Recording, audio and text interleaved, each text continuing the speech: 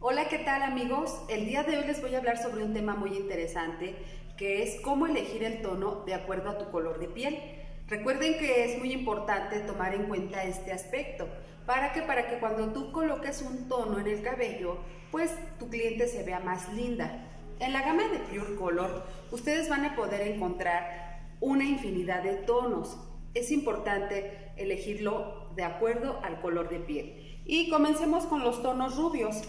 Aquí en la gama de Pure Color tenemos la familia de Ice Platinum. En esta familia de Ice Platinum vas a tener dos opciones.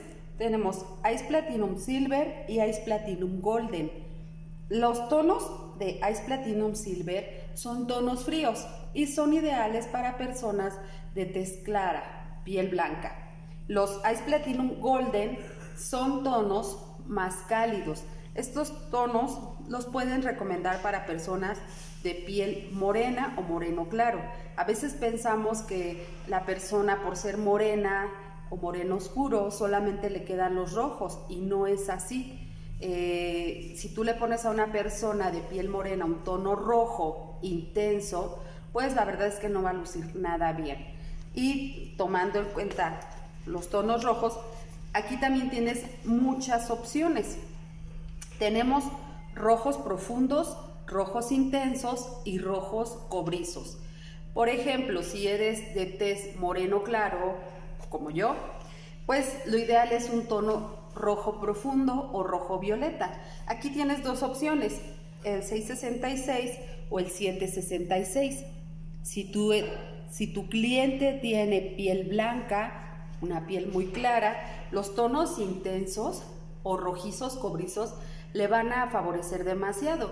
Por ejemplo, una persona de piel blanca, pues la verdad es que cualquier color le va a favorecer. En cuanto a los rojos, puede ser 866, 760, 744, que ya sería un tono cobrizo, o 746, que es un tono eh, rojizo cobrizo. Y a veces también cuando llega el cliente a nuestro salón, pues tomando en cuenta su color de piel, siempre estamos con esa duda de qué tono le pongo. Si la persona es de piel moreno oscuro y le pones un tono chocolate, pues vas a contribuir a que se vea más morena tu cliente. Sin embargo, si tú quieres eh, forzosamente necesitas aplicar un tono café, te recomiendo que te vayas a la familia de los tonos tabacos, que aquí los tenemos. La familia de los tonos tabacos, desde mi punto de vista, son unos tonos como muy neutros. ¿Por qué? Porque a cualquier persona de cualquier edad, de cualquier color de piel, les va a favorecer. Y tienes tres opciones. El 5-7, que sería un café oscuro. El 7-7, que sería un café más claro. Pero como son tonos cálidos, van a favorecer para cualquier test, para cualquier color de piel. Eh, también yo te recomiendo que si la persona es de piel amarilla y ojerosa, hay personas que tienen ojeras ya de nacimiento, eh, ya no hay nada como que las quite, más que las ocultan con el maquillaje. Si la persona tiene la piel amarilla y ojerosa, por favor no le pongas tonos dorados porque vas a contribuir a que su piel se vea más amarilla y peor aún si le pones un tono verdoso como un 731 o un 831. Eh, aunque sabemos que es muy importante respetar el deseo del cliente, eh, a veces la gente te dice, bueno, ok, no, no me queda, pero a mí me gusta y yo lo quiero. Entonces, pues solamente haz algunas sugerencias.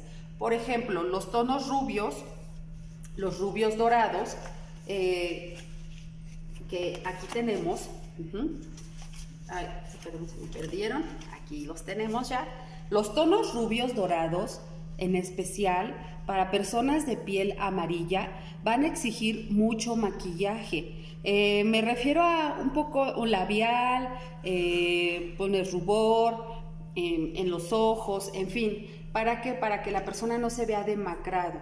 Entonces es bien importante tomar en cuenta esos aspectos. Antes de que tú elijas un tono, pues también pregunta si la persona acostumbra a maquillarse, a ponerse rubor, labial y cosas así. Eh, entonces, bueno, pues aquí como tú te darás cuenta, lo cual cuenta con una amplia gama de tonos que son ideales para los diferentes tonos de piel. Bueno, espero que esta información te sea de gran ayuda. No olvides dejar tus comentarios aquí abajo y nos vemos en el próximo video.